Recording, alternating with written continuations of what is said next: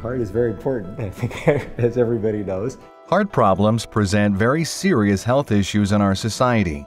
Scientists use mathematical models to make new discoveries that will help them treat these potentially fatal health problems.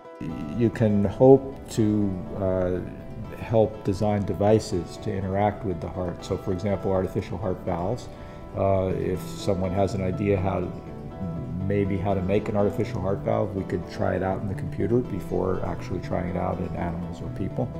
But also, uh, an important part is just understanding how the natural system works. So there's also a pure motivation here, not a pure math motivation, but a pure science motivation to, to um, understand how the heart functions and, and why, why it is the way it is. So for example, one part of my work I would sort of call mathematical anatomy, and that is um, can we explain the fiber structure of the heart and the fiber structure of the valves based on mathematical and physical principles. There's something very interesting and unexpected happens, which is there's a kind of fractal structure. So the collagen fibers that support the valve, they, they, they form a, a complicated um, sort of branching braided structure and we had when we started no hope of that, that that would emerge from the equations but actually it does.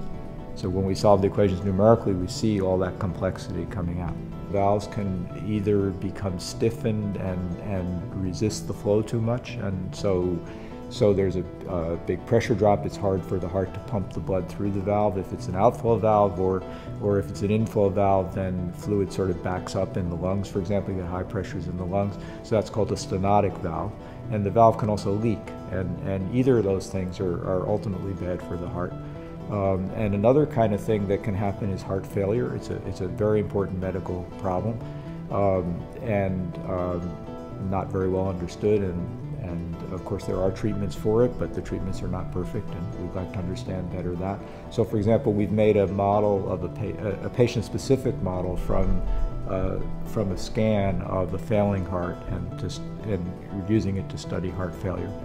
A, another example is there are treatments for heart failure which are which are called resynchronization therapy. So it's a little bit like a tune-up for a car, adjusting the timing.